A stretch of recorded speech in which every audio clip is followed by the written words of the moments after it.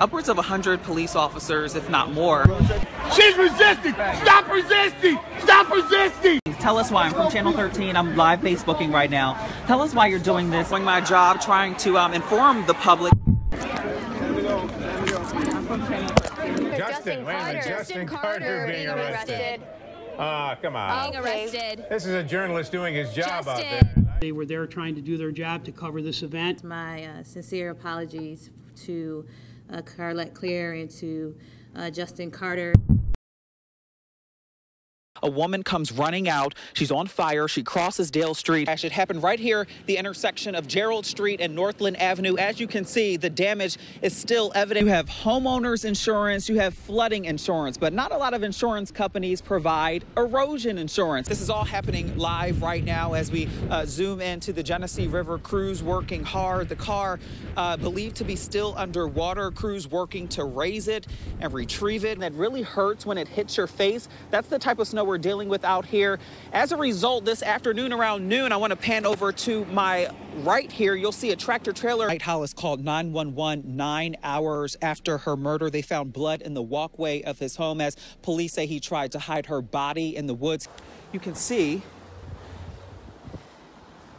these notices that were posted pretty much condemning um, anybody from being in here. We're told about eight people uh, living here. They haven't been with heat for a few weeks. The damage is significant. You can just take a look at this trampoline behind me. There's some grass, bark, sticks around this metal laden uh, trampoline you see here in Gananda. We also talked to the city of Rochester. They say that they're on a modified schedule. That means more crews will be on hand to assist in everything they need to handle this storm. Police in Brockport are investigating after fake $100 bills were used at six businesses in the village. Well, some Penfield residents breathing a little easier tonight as the town tries to move forward with purchasing an old golf course. Easy does it. Yeah, just pick it up. Easy does it. Hey, you got this. Oh. You are right there, Justin? I'm good. I'm good. I just did a little swivel. A little swivel. Is that what they call It's the famous moon boots that I wear.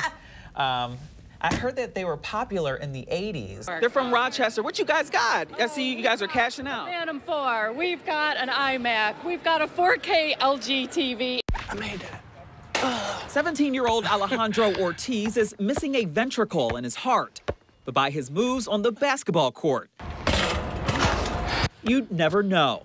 He goes to high school in New York City now, where he's on standby for a new heart. It's just been a waiting process. We've been there for about eight months now.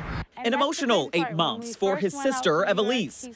More so when she got back to Rochester from New York City one day and noticed her house was burglarized. So I ran upstairs and I looked and like the ball was gone. This ball, it was a gift to Alejandro from the Make a Wish Foundation, signed by the 2013 NBA champions, the Miami Heat. I was I was very upset. Like who would want to steal from a, a disabled child?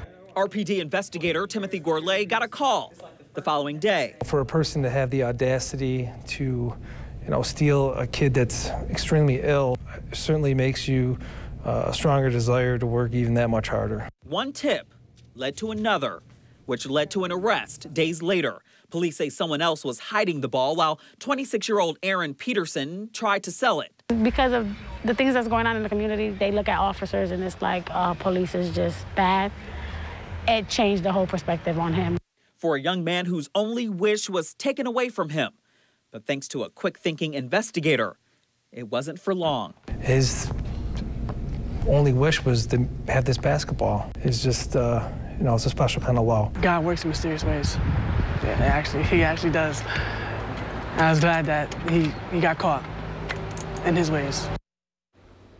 Peterson was charged with burglary and grand larceny. Ortiz thrilled tonight to have his ball back and now patiently waiting for that new heart. But it was huge. It was big. So talk to me. What, what was it? It was a rat. Mary Ellen Nick says it's been crawling underneath her deck since the fall. But when it got into her house, The cat got it and brought it up to me because they bring it up to me live. cats help, but not everyone has them.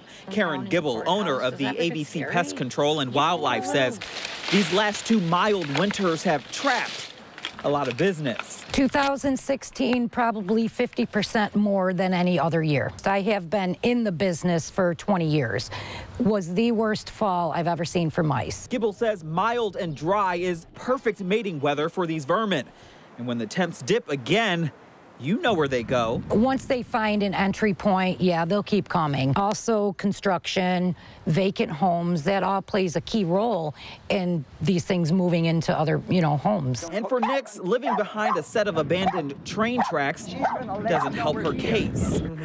And, you know, critters live in there, woodchucks and stuff. Little mice I can catch. They get in your house in the fall. But rats? Oh, honey, I didn't want that there. Thank God for the cats. She was not playing around. Experts say sealing up those small entryways from the outside is your best bet. And if you decide to take the poison route, be patient because it could take some time for those critters to digest it. Jenny.